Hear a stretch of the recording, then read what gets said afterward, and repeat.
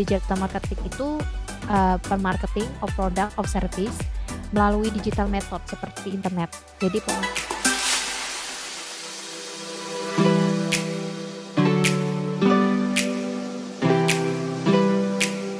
SEO itu uh, sederhananya sebuah langkah untuk menjadikan website lebih mudah ditemui di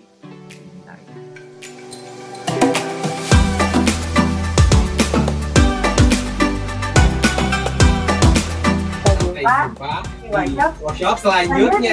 Dadah. Dadah.